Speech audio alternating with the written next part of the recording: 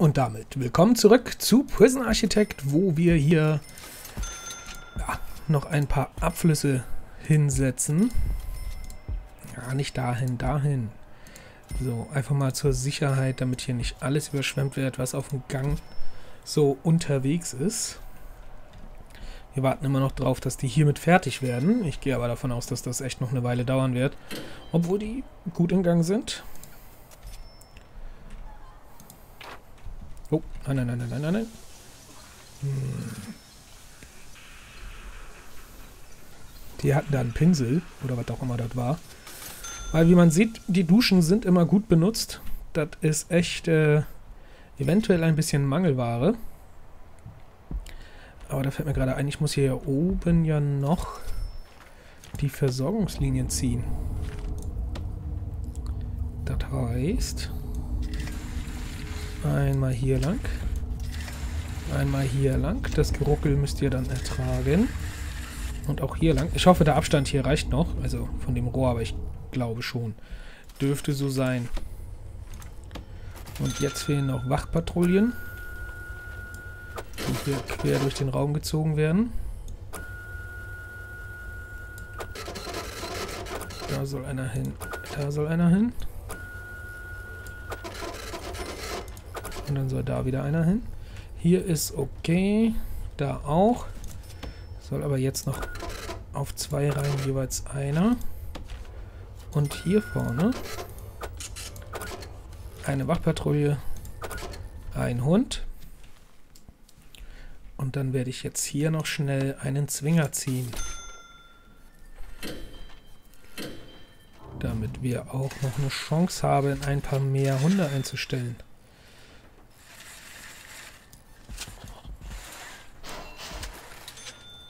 Machen wir da einen Dreiergang? Ja, das ist die Kantine. Machen wir einen Dreiergang. So. Ähm, da kommt eine Gefängnistür rein. Hier an die Ecke. Dann kommt hier ein Raum rein, und zwar der Zwinger. Wollen wir jetzt auch schon ein paar haben, aber damit wir einfach noch ein paar Hundeführer einstellen können. Objekte, Hundehütte. Zack.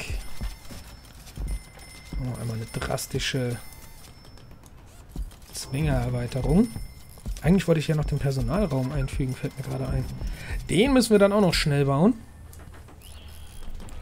Und natürlich Licht. Strom dürfte liegen. Strom liegt. Sehr schön.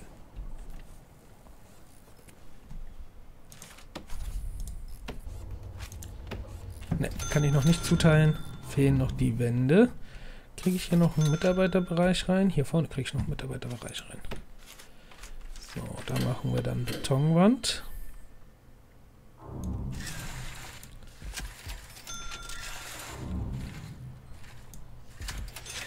So. Personaltür. Raum. Wo haben wir denn? Wo haben wir denn? Personalraum. Da haben wir ihn doch schon. Jetzt ist schon der achte dann. Also. So, ich übertreibe es mal wieder mit den ganzen äh, Räumen. So. In die Mitte kommt dann eine Sofa-Sitzecke. Ein in jede Richtung. Natürlich ein Billardtisch, den wir dort finden. Der kommt hier an die Ecke. Spielautomaten kommen hier drüben hin. Ein Radio hier vorne zusammen mit einem Getränkeautomat. Und dann hätte ich gerne einen Fernseher auf der Seite. Auf der Seite. Auch mit einem Getränkeautomat. Und falls wir mal welche haben, die hier drin gerne beten würden, dann machen wir da ein paar Gebetsmatten hin. Weil Personal habe ich noch nie in der, in der Kapelle gesehen, außer zum Putzen oder zum Wache schieben. Aber ansonsten.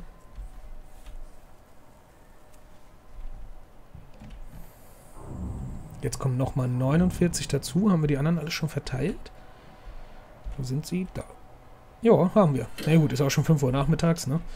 Also, meine Güte, hier muss ich echt ein bisschen Guck mal hier. Machen wir hier Objekttür. Auch wenn die Bewährung dann vielleicht nicht mehr stimmt. Aber ich muss da die Wand weg haben.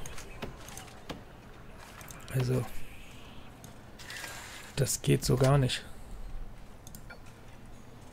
Abreißen. So, so ist gut. Ja, komm, mach ein bisschen Platz. Das brauchen wir.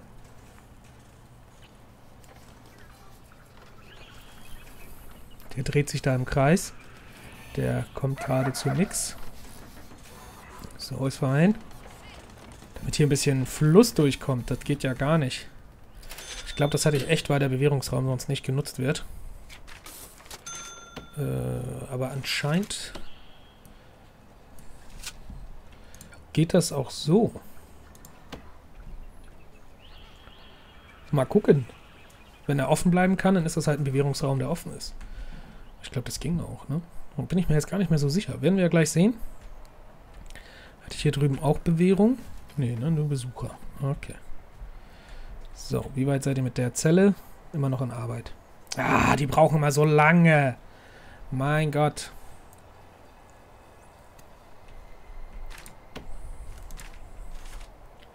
Ich stelle noch ein paar Arbeiter ein. Klicke, klicke, klicke, klicke, klicke, klicke, klicke, klicke, klicke, klicke, klicke, klicke, klicke, klicke. Wir erhöhen auf 200. Wir brauchen mehr Arbeiter. Die kosten ja auch nichts. Die kosten 50 am Tag oder so. Ja, sogar 100. Oh, dann.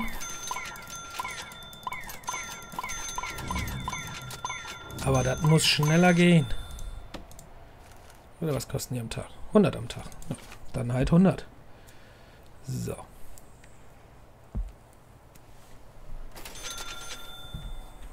Und die sind auch alle sofort in Gang. So, der Stromverbrauch hier ist noch in Grenzen. Was sagt der hier drüben? Der könnte sogar noch mehr haben. Okay. Der hat doch die ganze Werkstatt hier, aber die ist auch nicht so groß. So. Das haben wir. Hier würde ich eigentlich mal komplett die Wand abreißen. Nein, machen wir nicht. Machen wir nicht, weil sonst muss ich auch überall Metalldetektoren anbauen. Und so viel Strom haben wir da auch nicht mehr.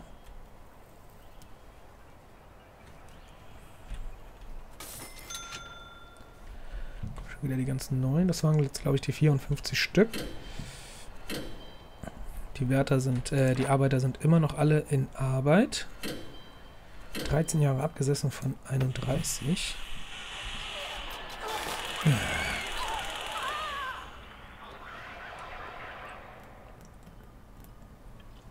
Ah, Mist, die Autospeicherung. Die wollte ich noch auf später setzen. Oh, das dauert wieder ewig. Oh, ist das schrecklich. Ja, sorry, ich muss die noch ändern. Nochmal, dass er dann nicht mehr alle 30 Minuten speichert, jetzt wo ich am Stück aufnehme, sondern dass er dann durchgängig nicht speichert. Also so gar nicht. So. Was haben wir hier schon fast?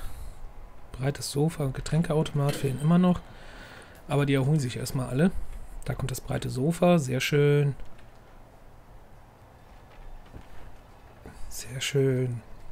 Es muss nicht mal von Wänden umschlossen sein. Aber schon geil, dass sie das dann als erstes machen. Obwohl hier noch Sachen sind. Und das sogar näher dran wäre. Also, das kommt ja noch dazu. Jetzt noch schnell das, den Getränkeautomat. So ist fein. Sehr gut. Aber ich kann ihn schon mal zuteilen. Nur für Personal. So. Damit die Häftlinge sich da nichts, ja, Feuerzeuge oder... Ich glaube, die können sich hier Feuerzeuge klauen. Bin mir aber nicht ganz sicher. Werden wir irgendwann nochmal genauer rausfinden, wenn ich auch mein, ähm, ja, mein Flieh Gefängnis mache. Ist da überhaupt eine Lampe drin? Ich glaube nicht. Ist da Strom? Ja, ist es. Okay, eine Lampe reicht. Hier sind auch Lampen drin. Da ist auch eine Lampe. Okay, ist nur, weil der Wärter gerade nicht rumläuft. Müde und auf Patrouille, dann ruh dich doch aus. Schlagstock, Schlagstock, Taser und Panzerweste. Ja, ich wollte noch vom Paintball erzählen. Also wir haben mit der, mit der Arbeit, wir waren 14 Leute, 7 gegen 7 haben wir dann gespielt. Und ähm, ja, das Ganze lief dann so ab, dass wir am Anfang einfach so eine, so eine Warmwertrunde hatten. Jetzt kann ich mal ein paar Hundeführer einführen. Oder Hundeführer setzen. Ähm, das war dann so eine, so eine 5-Minuten-Runde. Gehen wir auf 60 hoch.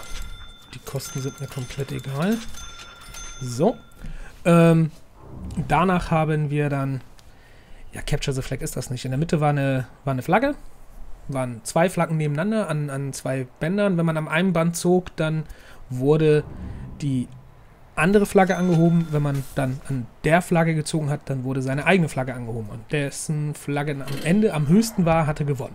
So, wenn man getroffen wurde, was äh, auf weniger als 2 Meter Abstand echt wehtut und manchmal auch auf 10 Meter Abstand echt wehtut.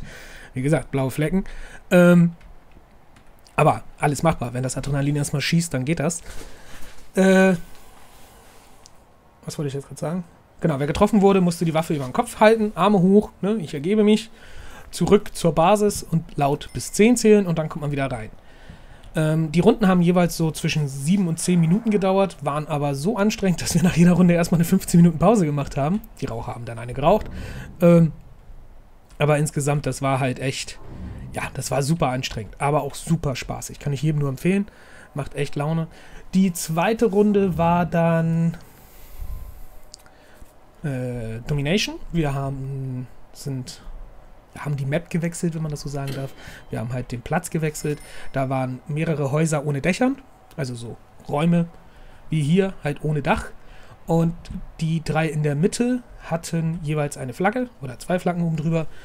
Und das Team, was am Ende der Zeit die meisten Räume besetzt hatte, mit mehr Personen als die Gegnermannschaft, hatte gewonnen. Gleiche Regelung. Wer getroffen wurde, musste bis 10 zählen. In der Basis natürlich wieder. Und dann haben wir nochmal eine schöne Runde Capture the Flag gespielt auf dieser Häuser-Map. Ähm, und Capture the Flag war dann in der Basis, waren jeweils eine Flagge. Und wessen Team beide Flaggen hatte, hatte dann gewonnen.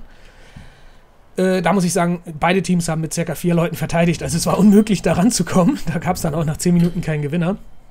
Ähm, und die letzte Runde, die wir gemacht haben, war alle gegen alle. Ähm, also Last Man Standing sozusagen mit zwei Leben.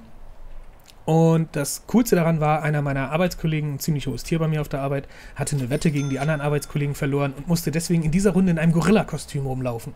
Das war, also ich muss sagen, das fand ich super geil. Er hat es auch gemacht, ohne zu mohren. Äh, ich es echt cool. Das, das hatte ich so noch nicht auf der Arbeit, dass der, ja, Chef oder führende Angestellte oder wie man das nennen will, sich wortwörtlich so zum Affen gemacht hat. Also ich, ich habe jetzt nicht weniger Respekt vor ihm aufgrund von dem sogar eigentlich eher mehr, weil er sich an seine Absprache gehalten hat und das auch wirklich, also das hat wirklich zum Spaß nochmal einen oben drauf gesetzt. Das war echt klasse. Ähm, kann ich also wirklich jedem nur empfehlen. So eine schöne Runde Paintball, wenn man ein paar Freunde hat, immer ran damit. Es gibt auch, also zumindest da, wo wir jetzt waren, das war in Dänemark, ähm, da, wo wir jetzt waren, der, die haben im Sommer immer so Veranstaltungen wo sozusagen offene Runden sind. Es kommen halt einfach alle hin, die hinkommen wollen und werden dann in Teams aufgeteilt. Und dann gibt es natürlich Gewinnerpunkte, also Punkte für den Sieger und nachher ein, einen Preis. Das war also auf jeden Fall super geil. So, durchsucht man den Zellenblock. Und bitte auch bei den Familienzellen. Muss ich das jetzt hier bei jedem einzeln machen? Ich mache das jetzt mal bei denen hier. Mal schauen. Sind natürlich wieder nur 6 Wärter gerade frei, trotz dass ich auf 300 erhöht habe. Den nehmen wir auch noch mit und das muss dann reichen. Weil von hier sind sie, glaube ich, nicht dran. Dann würde ich das hier auch schon sehen. Weil das irgendwie da durchgehen würde. So, das haben wir. Also das war echt mega spaßig. Geiler geht's kaum. Also, boah, feiere es immer noch total. Richtig geil. So, da haben wir die Hundehütten. Das hier ist jetzt alles fertig. Da fehlt ein Bett. Oder steht das da? Das steht da. Okay. Jetzt kommt's.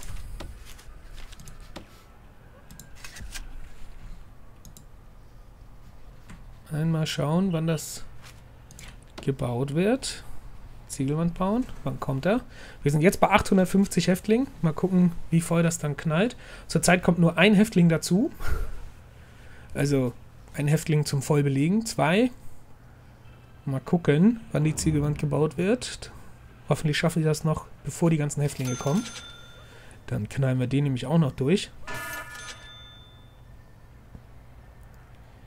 Na komm. Besucher, Häftling. Ach, da steht sogar auf welcher Seite was sitzt. Okay. Die Ziegelwand, die Ziegelwand. Na komm, na komm, na komm. Ah, jetzt beeilt euch doch mal. Dringend. Da kommt eine Lampe. Das ist immer noch keine Ziegelwand. Ach, die Lampe soll jetzt da nach rechts. Edwards mit einem Kind dabei. Ein Todesfall heute wieder. Da, jetzt kommt einer. Wo bist du? Wo bist du? Er ist auf dem Weg. Da soll ein Tunnel sein. Okay, wir machen nochmal eine Razzia. Komm. Lauf, Digga, lauf. Jetzt beeil dich mal ein bisschen. Ah. Streng dich an. Das ist wichtig, das hier. Das soll noch gemacht werden in den nächsten dreieinhalb Minuten, bevor die Folge zu Ende ist. Ja, das kriegen wir auf jeden Fall hin. Es sind immer noch sechs Häftlinge.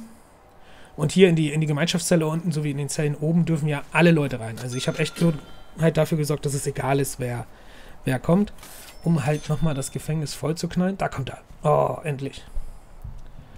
Um halt noch so viele Leute wie möglich reinzukriegen. Ich habe auch nochmal zwischenzeitlich geguckt. Wir haben immer noch nicht ausgeschöpft. Also wenn ich auf voll belegen mache, dann kommen 300 auf einmal. Äh, nicht voll belegen. Wenn ich einfach alle mache, dann kommen 300 auf einmal. Also, äh, es gibt noch genug böse Jungs oder Mädels da draußen, die man nehmen kann. Hier in die Zelle, ins Gefängnis natürlich. Ah, jetzt gib Gas. Gib Gas.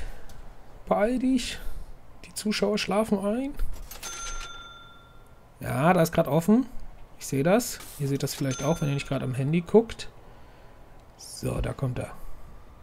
Wir zoomen immer weiter ran. Dann können wir ihn bei seiner heroischen Tat des Bauens beobachten. So. Na komm. Oh, das machst du ganz toll. Super machst du das. So. Und 850. 850. 850. Na komm. Update bitte. Ein Update. Ich weiß, dass du das kannst. Komm jetzt. Ich weiß, dass du das kannst. Oh Gott, der muss jetzt wahrscheinlich so viel berechnen. Beeil dich. Ich bin echt gespannt, wie viele das sind. Das müssten echt super viele sein. Also, super viele. Das Bett da steht irgendwie immer... 994. Das machen wir jetzt noch voll. Die 1000. Steht da ein Etagenbett. Da steht ein Etagenbett, was ich nicht sehen kann. Okay. Äh, 94, das heißt, wir brauchen drei. Eins. Nein, nein, nein, nein, nein. Eins, zwei, drei. Dann kommen wir auf die 1000. Und jetzt kommen 135 Häftlinge dazu.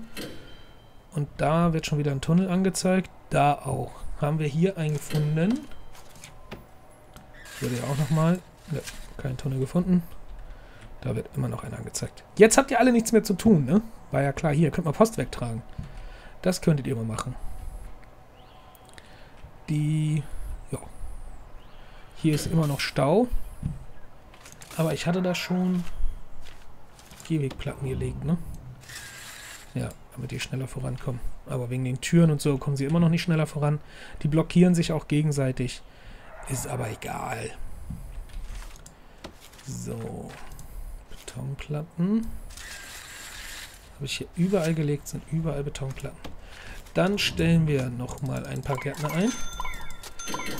Okay, das waren jetzt Hausmeister. Egal, die machen wir dann auch nochmal. Auf 50. Und dann kommen nochmal ein paar Gärtner. Da gehen wir mal auf 25, auf die Hälfte. Der Hausmeister hoch. So, und zum Abschluss noch eine Razzia. 8850 Plätze, die durchsucht werden müssen. Äh, ein paar Wachen vielleicht noch. Ich weiß, ich übertreibe jetzt völlig. Aber das machen wir.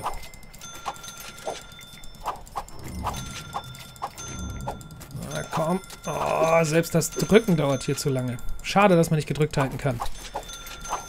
Klick, klick, klick, klick, klick, klick, klick. Ja. Sehr gut. Haben schon fast alle. Ja. Und der letzte. Sehr schön. Sehr schön. 350 Wärter auf 1000 Häftlinge. Perfekt. So, ich lasse die Razzia durchlaufen und dann sehen wir uns gleich wieder in der nächsten Folge. Haut rein. Tschüss.